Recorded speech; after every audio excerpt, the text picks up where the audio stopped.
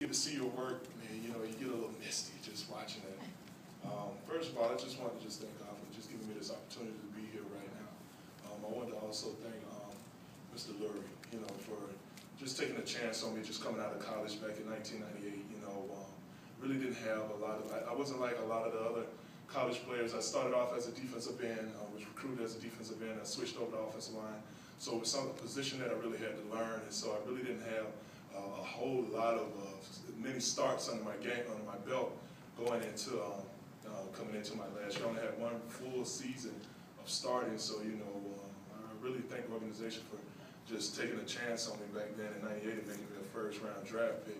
Um, second, I want to just thank Coach Reid for just always um, you know being there and being like a second father figure to me, and um, just really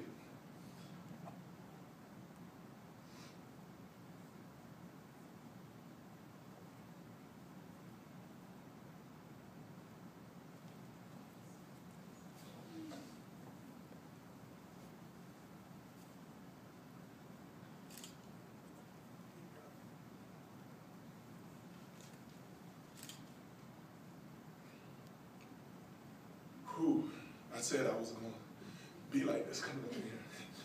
Thought I was gonna be able to hold something together, but um, you know, Coach Reid always was there throughout a lot of my own personal situations, just coming up through, through um, just playing the game and just living through life. And I just think that just being such a great example of what it takes to be a father to be a husband,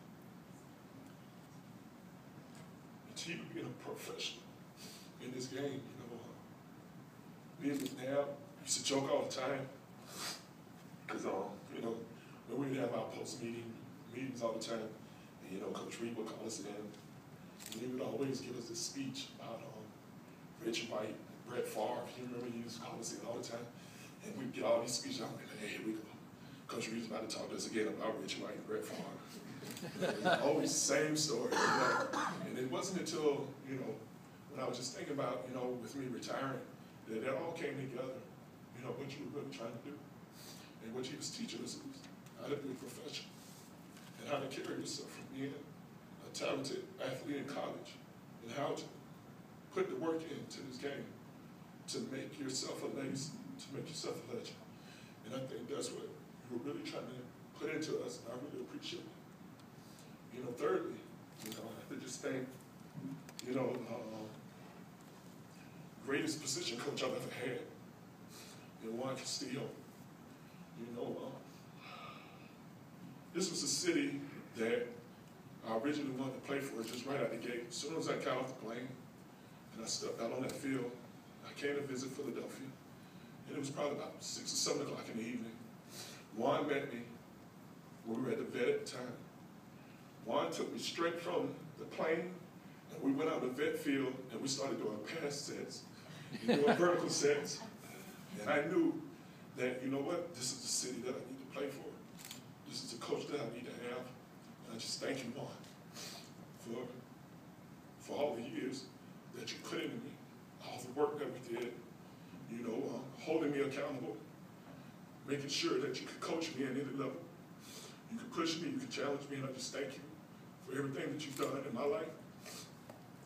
The reason I opened Seven Youth Sports, the uh, facility that I own now, is because of what you put in me, and uh, because of the technique that you taught me.